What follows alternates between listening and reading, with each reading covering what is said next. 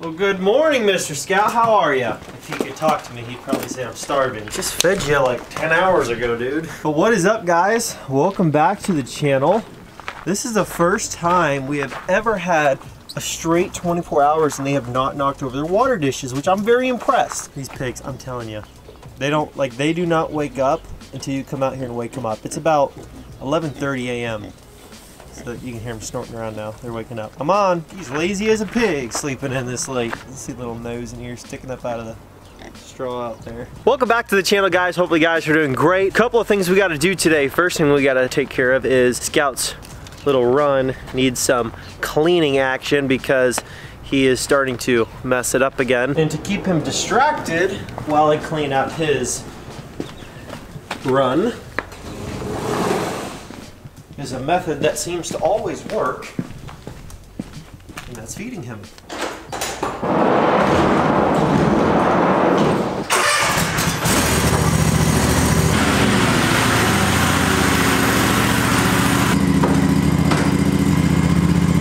Time to get to work.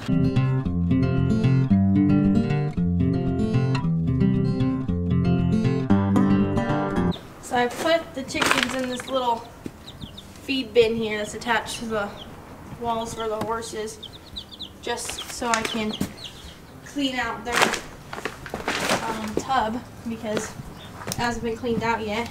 So all I'm doing is trying to get it to one side and then we'll dump it in that little trailer Malachi has and he can take it back with him in there since it has little um, bird droppings in it. So that's what I'm doing.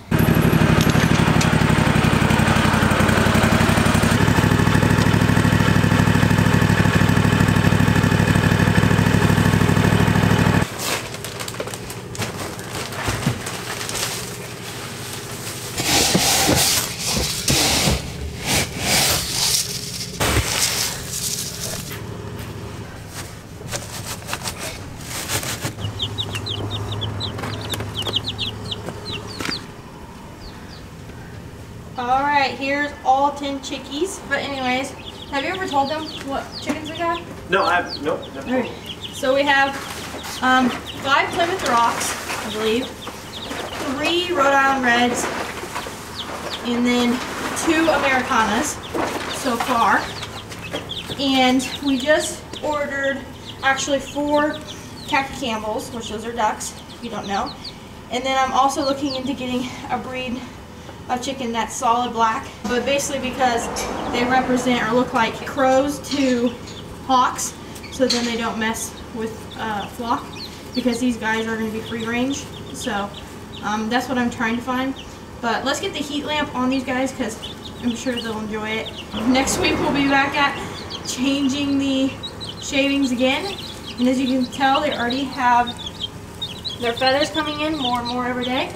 So they aren't going to be fuzzy for long.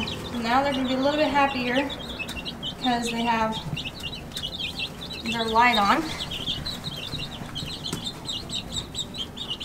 But as you can see, we just let it hang there low so they can go underneath it and just clamp to that board. We had it clamped on this, um, but we're just trying to, it's been really cold, so we've been trying to get the light a little bit closer to them. But yeah, chicks are doing good. Apple? Hmm? Apple. You didn't even notice, did you? It's right by your feet. Yeah. Didn't even notice. Eat the apple. There you go. New project starting today. Wasn't really part of the video, but it's going to become part of the video. So, um, by the time you see this video, yes, we did pick up some whiskey barrels. Those are actually for my dad for his birthday because he really wanted some. Got the lumber here to build a chicken coop. So that's what we're gonna get started on right now. We're trying to bury the kiddie pool in there so they can cool off. We don't know quite why they look a little bit sunburnt. It hasn't been too hot here. Um, I don't know if it's from the heat lamp. All I know is today, it's a little over 60 and it's just warm enough for me to kind of sweat when I'm out here walking around. It's not sunny, it's cloudy, so I don't know, but they are pigs, so they don't have a lot of fur on them. So we're trying to have an area for them to cool off they want. Yeah, eventually we're gonna have to get some tarps for shade or something. They're pigs, I mean. They're just gonna do what they want to do. But, but, I know you just got food. My Malachi's trying to bury it. yeah, just a little bit so they don't rip it up out of here. They might not go in it at all. I don't know, but we'll Yeah, see.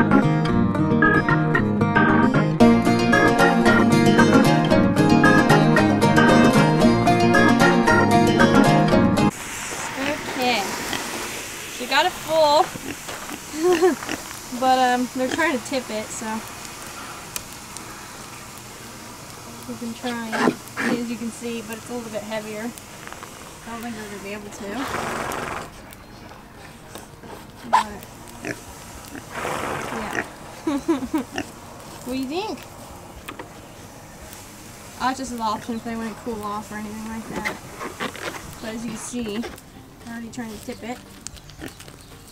So, we'll see how long that lasts.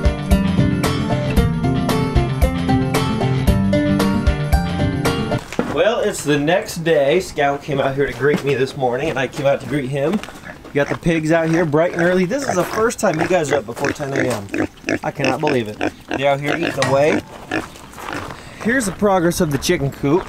We just started on it actually yesterday afternoon, so we didn't get a lot of headway on this. Um, but we did at least start to structure the coop itself, and as you can see, we've got um, that far wall leveled out. This side is not done yet. We have to yet run a level across the top. These two might be pretty level, like the top of this 2x4 to the top of that 2x4, but they could be off a little bit. So we're gonna run a board across the top real quick. We're gonna throw a level on it and see where we got to move either that set of framing or this set of framing up or down a little bit to make sure it's totally flush. But other than that, I do have to run back to Menards because I completely forgot that I need to grab four 10 foot 2x4s and four 12 foot 2x4s to be able to finish the framing for the coop and the run.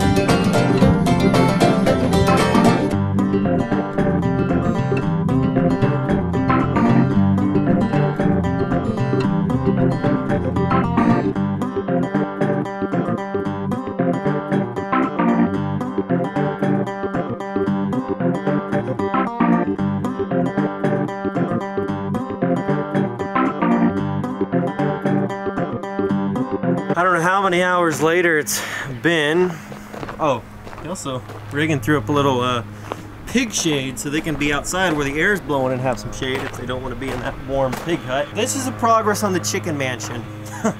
it's, the idea was a chicken coop, but I tend to go a little bit extreme with certain things, and uh, it's a little bit on the big side. I mean, it's a it's a big chicken coop. It's gonna be big. So the actual ceiling space is gonna be seven foot. It's seven foot to the top. Why so tall?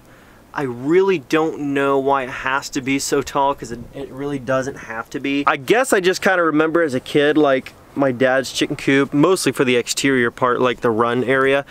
The ceiling was like four and a half feet maybe. And so after I was about 11, 12, I was like having to crouch down from that age to 16, 17 when I'm in there like cleaning out manure and crap. And so it was just a real pain in the butt. And I remember hating it as a kid. And I'm like, okay, long term, I don't want this stinking thing to be ceilings this high and then you're crouched down and having aches and pains in your neck and back, you know, when you got to clean, you know, the chicken manure out.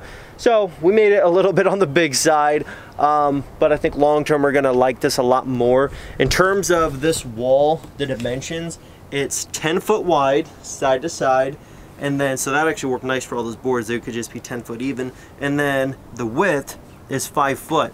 So on the back side, we're gonna be able to take one 10 foot board, cut it in half and just throw them up. And then this outer section is 11 foot post to post. And I feel like that's gonna be plenty of run. Let me step back here and show you how much space that's really gonna be.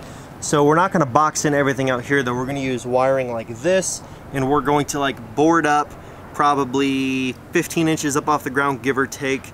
And then we're going to board three or four boards down on the top And then there's gonna be an entire middle section that's just gonna be open with this, so there's plenty of air blowing in and out of there. Same with this side, it's gonna be the exact same. We're gonna have a man door though to come in and out. Probably, would you say on this side or the other side? That side. Okay. So, well, I mean, I guess we could put one on both sides technically, but we'll probably just put one on this side. So that way when we want to let the chickens free range, we're going to run fencing like this also. We're going to unravel a whole thing of it down this fence too to keep them going into the neighbor's yard. Um, but anyways, that way we can open it up, let the chickens go down out into there, which we're also thinking about throwing a pond in right here because as you can see, holds water and it's held water ever since the snow melted off over a month ago. Well, except for when we got another six inches the other day out of the blue. But this this whole area just holds water. I mean, it has just held water since we moved in here almost two months ago now. And so we're just probably gonna dig out this whole low spot here into a pond and then mound it all up on this half over here so that there's still a level area to get across to mow, for Scout to walk around, stuff like that. Um, but yeah, that's the uh, that's the update.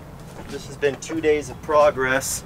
Um, not two full days, basically two half days of progress, but I think the biggest thing was just digging out the post holes and putting the posts in and making sure everything was flush and squared away because that was probably the most time consuming part of it. But now that that's out of the way, it's uh, it's going along pretty smooth. We are probably going to insulate on the inside. We're probably going to throw insulation in between the 2x4s there, um, all the way down the side, and then throw some OSB up. But uh, what we do for insulation, that's still uh, on the table, but that, that is the plan. And then for the roof, we're probably to do, we could do a couple of things. We could do um, a double-sided, you know, which is just like your traditional roof where it goes up to a point and then down off the other side, you know. Or we could do a slant, which basically we could make it to where this would be like the front side of the chicken coop, I guess you could say. And then basically it would, like the water would slant off the top and run off down to that low spot. If we do put a pond in there, um, the water would just run off the roof and go downhill, throw a um, downspout on it or something to run it down the hill. But, uh, but yeah, this is the progress. Well, everybody, hopefully you guys enjoyed the video. Sun is blasting me in the eyeballs right now. But anyways, guys, thank you so much for watching. Hopefully you guys enjoyed the video. If you did, smash that thumbs up. Don't forget to subscribe to the LNP Homestead channel. Comment down below, subscribe if you're new, and we will catch you in the next video.